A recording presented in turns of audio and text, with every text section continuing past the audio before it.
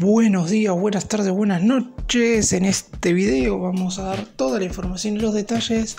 en relación a la posibilidad de que el jugador que ven en pantalla, que si siguieron los partidos que River ha jugado en esta liga profesional, tienen que conocerlo, es Rodrigo Garro, actual futbolista de Talleres de Córdoba, que justamente le marcó los dos tantos al millonario cuando el conjunto cordobés lo derrotó por 2 a 1 en la presente competición local. ¿Por qué vamos a hablar puntualmente de este jugador? Porque su representante lo ha ofrecido a River como para que sea refuerzo a partir de agosto de este año. El rendimiento del futbolista en cuestión ha sido muy bueno en talleres en este último tiempo, pero en principio habría intenciones de transferirlo si es que llega una oferta contundente. Vamos a estar contándoles todos los detalles y si bien es verdad que normalmente River no es de ir a buscar a los jugadores que ofrecen, este futbolista aparece en carpeta por si alguno de los actuales jugadores que hoy por hoy integran el plantel del equipo dirigido por Martín de Michelis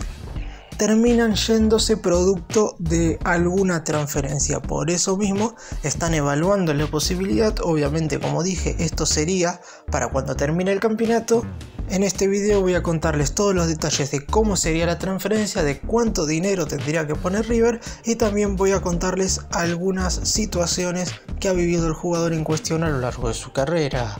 Empecemos. Para poner un poco en contexto la situación actual de Rodrigo Garro, tiene 25 años, estará cumpliendo 26 recién en enero del año que viene. Su presente actual en talleres es muy pero muy bueno y no solamente ha sido ofrecido a River, sino también a equipos muy importantes del fútbol brasileño. Se ha mencionado a Flamengo con la posibilidad de realizar una oferta sobre él, pero en definitiva todo lo que tenga que ver con propuestas u ofrecimientos que podrían llegar a aparecer, todo eso queda para más adelante, recién para el mes de agosto, porque obviamente Talleres está, al igual que River, en la recta final de esta liga profesional. En total, en este semestre con el conjunto de Córdoba ha disputado 21 partidos, convertidos 4 goles, de los cuales 2 lamentablemente han sido River, y 4 asistencias. Es uno de los futbolistas que más veces ha participado en un tanto directo por parte del equipo dirigido por Javier Gandolfi. Es un jugador que además tiene una muy buena pegada de media distancia y puede moverse tanto por el centro del terreno de juego como también tirado un poco hacia la izquierda. Es un futbolista que en términos ofensivos le da muchas variantes al entrenador como para poder armar distintos esquemas y para poder jugar con distintos compañeros en la zona de ataque. Es un futbolista además que tiene un muy buen mano a mano contra los defensores rivales y además tiene un muy buen retroceso como para ayudar por la banda o por el centro, como mencioné recién, al equipo en cuestión a recuperar rápidamente el balón. ¿Qué es lo que sucede con Garro y Talleres? Si bien es cierto que en principio seguramente el conjunto de Córdoba quiera retener a la mayor parte de su plantel que está haciendo una muy buena temporada, eso sucede con la mayoría de equipos, de hecho River también quiere retener, dicho por el propio Martín de Michelis, a la mayoría de los jugadores que por hoy integran la plantilla del más grande, la realidad es que un buen ofrecimiento puede cambiarlo todo. Y en principio con Garro no se pondrían tan exigentes como si ha sucedido con otros jugadores, de hecho para no ir tan lejos, a mediados del año pasado, el más grande fue en búsqueda de Diego Baloyes, otro futbolista del conjunto de Córdoba, y lamentablemente hubo muchas idas y vueltas para poder contratarlo. Ahora más adelante voy a mencionar un poco cómo fueron esas negociaciones porque podrían llegar a repetirse con Garro, más allá de que como dije, en principio no serían tan exigentes. A pesar de todo esto, el dinero que pediría a Talleres es de alrededor de 5 millones de dólares, un número no tan alto teniendo en cuenta que River ha pagado cifras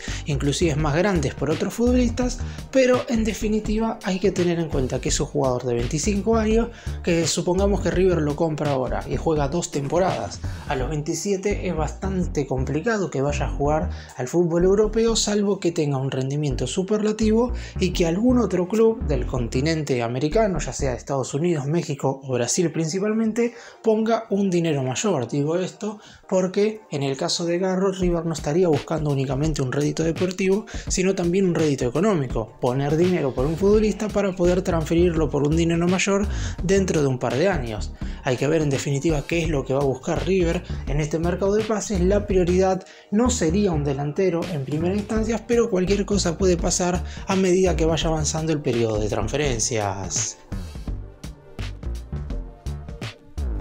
Si el representante lo ha estado ofreciendo a equipos muy importantes del continente sudamericano, como son los casos de River y de Flamengo, esto quiere decir que está buscándole una salida al futbolista más allá de que su presente en talleres sea muy bueno y que hoy por hoy sea prácticamente titular indiscutible en ese ataque del conjunto dirigido por Gandolfi que es junto con el de River el mejor de la actual liga profesional. Ahora, hay que tener en cuenta que el jugador no ha dado todavía ese salto económico que todos los futbolistas quieren dar a lo largo de su carrera como jugadores profesionales y por eso mismo la única forma de dar ese salto, de avanzar en ese sentido, es ir a un conjunto más grande que Talleres. Obviamente es medio complicado medir el nivel de grandeza, pero obviamente tanto River como Flamengo son equipos mucho más relevantes, sobre todo a nivel sudamericano, en relación al conjunto de Córdoba. Por eso mismo, su agente deportivo lo ha ofrecido a otros equipos tiene contrato con Talleres hasta el 31 de diciembre del 2025, lo que quiere decir que sí o sí hay que negociar con la dirigencia del conjunto cordobés para hacerse con sus servicios. Y teniendo en cuenta lo difícil que fue negociar a mediados del año pasado con Andrés Fassi, el presidente de Talleres por Diego Baloyes, hay que ver en definitiva si River quiere que esta negociación, en caso de que se empiecen charlas concretas, sea muy larga. Recordemos cómo fue un poco aquella negociación por Baloyes. Talleres en primera instancia pedía 7 millones de dólares por el 70% del pase del actual futbolista de la selección colombiana. River no estaba dispuesto a pagar esa cifra, pero estaba dispuesto a seguir negociando y que Talleres elija otra forma como para poder transferir al futbolista. En el más grande estaban interesados en dar a préstamo a algún juvenil, más obviamente una cierta cantidad de dinero, o a su vez también en darle a Talleres el porcentaje que no había comprado de Federico Girotti, es decir, el 45% que todavía pertenece al más grande. Recordemos que River le vendió a Talleres en su momento el 50% en 2 millones de dólares. River estaba dispuesto a darle alrededor de 5 millones de dólares por Baloyes más el 45% restante del centro atacante que hoy por hoy se encuentra lesionado. Sin embargo, Talleres no no quiso esto y comenzó a pedir pases de futbolistas de River. Se llegó a mencionar que el conjunto de Córdoba estaba interesado en tener porcentajes de las fichas de los pases tanto de Bruno Zuculini como de Agustín Palavecino, más los 7 millones de dólares que pretendía principalmente por el futbolista cafetero. Por eso mismo, una vez que los dirigentes de River escucharon esto, decidieron bajarse totalmente de la negociación. En principio, Baloyes quería ser transferido más que ahora porque nuevamente se va a volver a hablar de la posibilidad de que el más grande quiera ir en búsqueda de Baloyes, pero la realidad es que ahora la situación es totalmente distinta porque está más cómodo en el conjunto de Córdoba, renovó contrato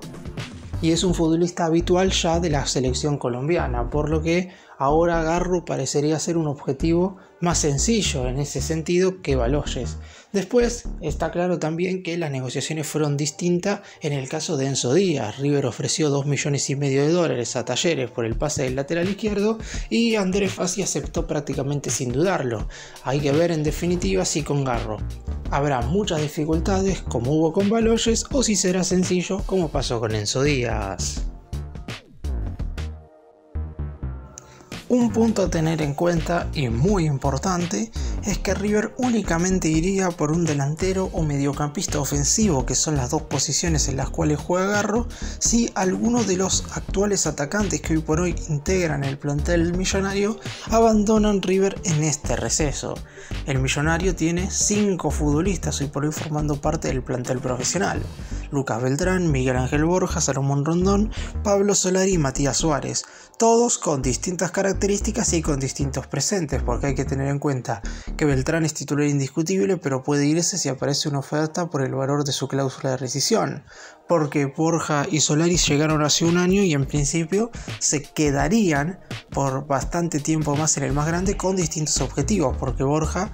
vino para rendir exclusivamente en lo deportivo, mientras que Solari vino para que River también tenga un rédito económico de cara al futuro. Y el caso de Suárez y Rondón es el más complicado en el sentido de que el venezolano todavía no ha rendido, más allá de que a mitad de año ahora sería complicado que se vaya, mientras que Suárez tiene unos problemas físicos persistentes y su contrato con River acaba a finales de este 2023 y es posible que no renueve su contrato. Por eso mismo es complicado que el más grande contrate un delantero ahora en este mercado de fichajes, pero fin de año todo puede cambiar. Después hay que tener en cuenta que también Enzo Francesco, el secretario técnico del más grande, siempre habla de oportunidades de mercado, es decir, River quizás no va por un jugador que se desempeña en una posición a la cual River hoy por hoy no pretende reforzar, pero como ven, que traerlo es bastante factible porque el dinero es bajo o porque la economía del club lo permite en ese momento en particular, en ese caso sí deciden contratarlo sin ningún tipo de dudas. En el caso de Garro parecería no ser tan así porque 5 millones de dólares no es claramente una oportunidad de mercado. Oportunidad de mercado es cuando un futbolista acaba su contrato, como puede ser el caso de Manuel Lanzini en el fútbol europeo. River tendría que aprovechar que acaba su vínculo este 30 de junio con el West y ahí poder contratarlo libre con el pase en su poder, más allá de que en el puesto de Lanzini, hoy por hoy el equipo de Núñez no necesitaría un refuerzo. En el caso de Garro sería todo lo contrario, porque habría que desembolsar una gran cantidad de dinero teniendo en cuenta que Talleres no lo va a poner fácil, por lo menos en un principio. Después, con el correr del mercado de fichajes hay que ver en definitiva qué es lo que sucede hay muchas chances, recordemos que tanto el más grande como el matador de Córdoba juegan el año que viene la Copa Libertadores teniendo en cuenta su buena campaña hoy por hoy que están haciendo en la liga profesional. Es cierto que todavía falta toda la Copa Liga Profesional que también se suma para el puntaje de las copas, pero en definitiva ambos clubes deben armarse para las copas del año que viene y es lógico que para talleres sea más difícil armar un plantel competitivo que pelee dos competencias que para el propio River. Por eso mismo hay que ver si no se ponen un poco más exigentes, si es que ven que al término de este campeonato tienen ya muchas opciones de clasificar al máximo torneo continental en la siguiente temporada. Como dije, en el mes de julio no habría negociaciones por ningún jugador porque Talleres no lo permitiría pero a partir de agosto, teniendo en cuenta que su representante lo ha ofreciendo a distintos clubes, el equipo cordobés escucha abrir ofertas y si alguien pone los 5 millones de dólares que mencioné, Garro podría salir y usar refuerzo de cualquier equipo, en este caso de River. Para cerrar y dar mi opinión con respecto a todo esto, está claro que Rodrigo Garro está teniendo un muy buen presente, pero no me parece quizás ese jugador para contratar teniendo en cuenta que ya con 25 años no sé cuánto rédito económico podría llegar a sacarle River. Después está claro, es un jugador que podés contratar y si rinde muy bien en cuanto a lo deportivo, no importa si lo vendés en un alto dinero, porque siempre lo más importante va a terminar siendo lo que el propio futbolista pueda hacer dentro de la cancha. Pero quizás no sería el jugador que yo iría a buscar, aun si River necesitara sí o sí ir a incorporar un mediocampista ofensivo o un delantero. Me parece que hay muchas otras variantes, tanto en el fútbol como en el fútbol sudamericano, pero veremos en definitiva qué es lo que sucede. Si su representante lo ha ofrecido a River y el más grande está evaluando una posible contratación, quieren decir que hay algo, ya sea desde el cuerpo técnico o desde la secretaría técnica, que les gusta del futbolista porque siempre hay muchos jugadores que son ofrecidos y algunos pasan totalmente de largo. En el caso de Garro, claramente esto no ha sido así y por eso mismo hay que ver qué es lo que pasa una vez avance el mercado de pases. Gracias por mirarnos, suscríbanse, nos vemos en el próximo vídeo.